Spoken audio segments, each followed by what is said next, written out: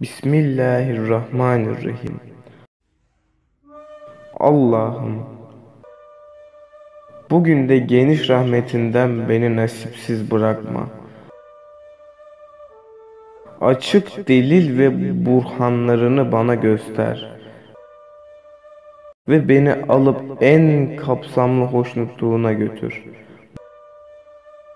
Muhabbetinle ey şevkli insanların arzusu.